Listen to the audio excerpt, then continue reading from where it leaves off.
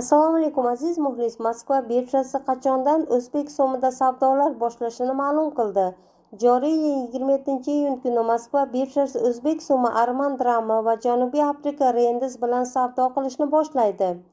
Qayd etilishicha yangi valyutalar bozorining professional ishtirokchilari ularning mijozlari jismoniy va yuridik shaxslarning shu jumladan tashqi iqtisodiy faoliyat subyektlari savdo imkoniyatlarini kengaytiradi.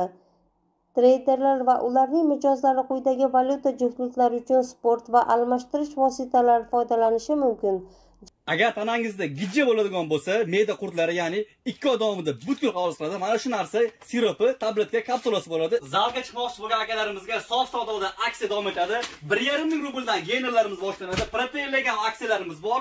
Uyda semiraman dedik akalarimizga samiyora to'qqiz rubldan bo'lib ketdi.